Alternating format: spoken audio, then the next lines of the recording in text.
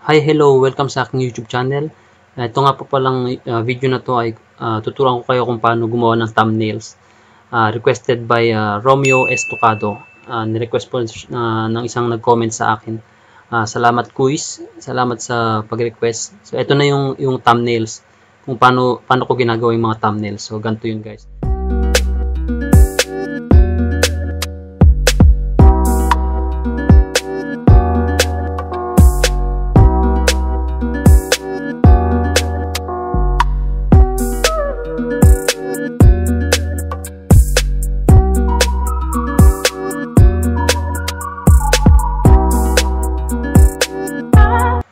Una, ganito, i-check natin kung ano ano talaga yung yung maximum size ng thumbnail. So, nag-search ako sa YouTube uh, sa I mean sa Google. So, ito yung ito yung size o dimension ng ano ng YouTube ng thumbnail size. So, ang pixel niya is 1280 uh, or 1280 pixel wide by 720 pixel tall. So, yan yung yung yung size niya. So, gagawin natin 'yun. So, ganito uh, ang pixel niya ay dito natin makikita. So, pixel. So, punta tayo sa pixel. Gawa tayo ng bagong papel pixel. Ang pixel niya ay 12 uh, 1280 by anong size? 1280 by 720. So, 720. 720. And then, 300 resolution as usual. Okay.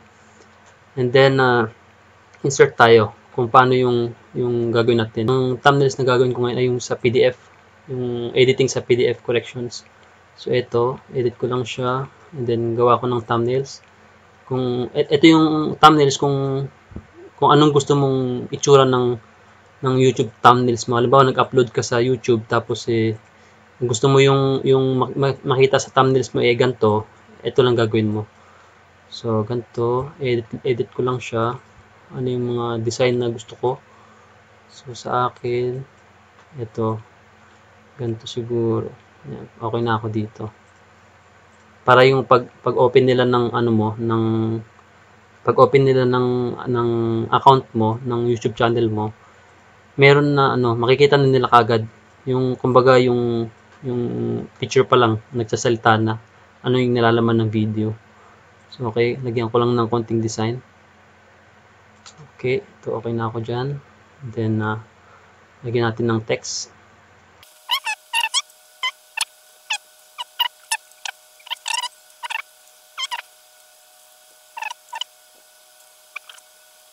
siguro to? 3 line. Yan, okay na siguro yan. Okay na ako dyan.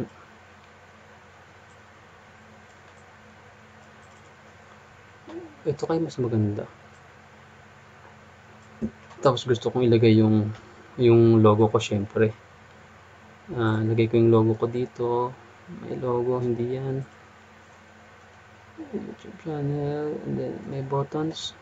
Gusto ko lagay yung logo ko. Halimbawa to and then subscribe. Subscribe. Mga pala mga mga mga ka-youtubers pa-subscribe na lang at saka likes para updated kayo. Parang gusto ko to. Ito tas likes and subscribe. Kahit wag nang share o watch din. Uh, gusto ko lang watch. Okay So, edit natin. So, ito, saan na? Wala na yung thumbnails natin ito. So, gusto kong kunin dito ay ito. Ito. Gusto ko lang siyang kunin. Lagay ko dyan. So, masyado siyang malaki. And then, watch. Naka-PNG na yan. So, okay yan. Ito, insert ko lang sila lahat. Pagkakasyahin ko dyan sa isang thumbnails. So, pag, pag napagkasya ko na siya dyan, uh, yung, yung title pa lang is nagsasalita na. So, malalaman nyo kung anong sinasabi niya. So, ito, masyadong malaki yung, yung ano ko, dilitan ko siya. So, yan. Um, depende kung paano nyo gagawin. Kaya na bahala kung paano yung design nyo. Paano yung design na gagawin. Kasi pag pag nag-view, andito kasi yung oras eh. Itong itong part na to, andito yung oras. So uh, avoid mo ito, itong part na to. Itong bottom right, avoid mo yan na, na malagyan. Kasi pag, pag na-view yan sa icon list ng YouTube, and dito yung, yung time, yung oras ng video mo. So, matatakpan. So, avoid ka dyan. Uh, alis ka dyan. So, dito okay lang siguro kasi hindi naman tatamaan lahat. Eh. Yan. So, like. Uh, watch siguro. Watch. Watch. Subscribe. Watch, like, and subscribe. Okay. Okay na siguro to. Or, hindi. Dapat dito. Para magkasya siya. So, itong subscribe yung malaki. Yan. Okay. Yan. Okay na siguro to. So, ito. Parang mas maganda yung gawin kong puti.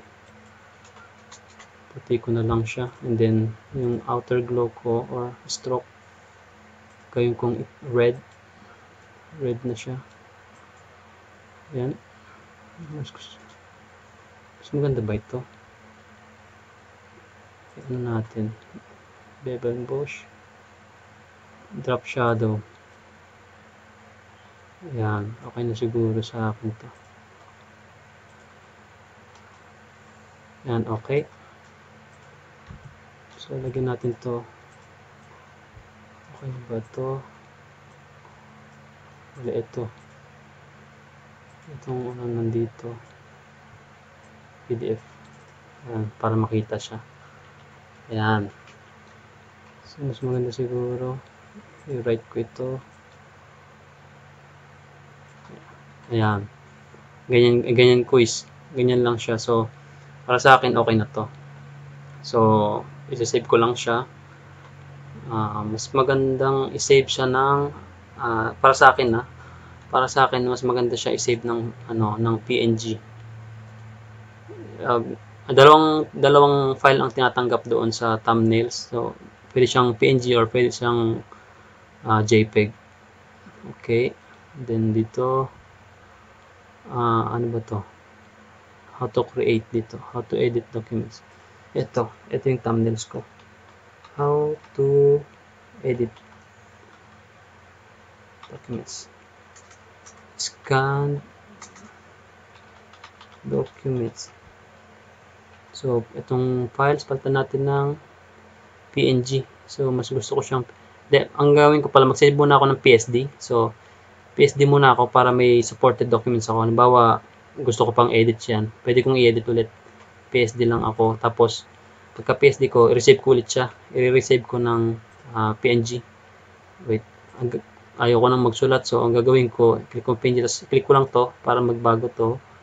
And then, uh, ah, PNG. Yan, para mas mabilis. Ayaw ko na mag-type kasi nakakapagod yun. Yan, okay. Ayun, tapos mamaya, i, i, mamaya i, ituturo ko kung paano ko i, ilagay sa thumbnails yan sa YouTube channel gawa na tayo ng thumbnails. Ang gagawin natin, i-upload na lang natin yung thumbnails. So, kailangan natin pumunta sa YouTube, youtube.com slash uh, features. Features. Ayan. So, pasok kayo dyan. Makikita nyo lahat ng mga features nyo. Dito nyo ma-edit. Tapos, punta kayo ng video manager dito sa kaliwa. Kasi, para imamalis nyo lahat ng video nyo. So, meron akong bagong upload And then, itong how to edit scan document. So, edit natin siya para ilagay yung thumbnails. So, i-click natin. And then, custom thumbnails dito. Makita mo rito. Meron na siyang ano, recommend uh, thumbnails dito. Nakaset na siya. So, i-click mo lang set. Pero kung ayaw mo, dito i-custom thumbnails mo siya. Para mag, mag, mag-upload dun sa ginawa mong uh, thumbnails. So, yung ginawa ko kanina is ito ito na yung ginawa ko kanina. So and then open ko. Automatic na mag-update. Mag-upload yan upload. So ganun lang kadali guys. Ganun lang kadali kung paano gumawa ng thumbnails tapos i-upload mo. Para every time na i-view nila yung video mo makikita na yung thumbnails. Ayan. So ito na yun guys. Pag save mo, yung, pag save mo dito automatic yon papasok na sa thumbnails mo yun. Okay guys. Salamat guys sa panonood sa video ito sana makatulong sa inyo to kung paano gawin ang thumbnails. Salamat guys. So ito pag pag pag na na save mo na eh, try natin pumunta sa ah, YouTube channel natin. Okay. Punta tayo sa YouTube channel. And then, channel dito. And then, tignan natin sa videos natin. Ayun. So, ito na yun guys. So, nag-appear na siya. Ito na yung uh, kung paano gumawa ng PDF. So, parang medyo uh, medyo hindi pansinin, no? Sige, next time, ayusin ko na lang, no? And guys, salamat guys.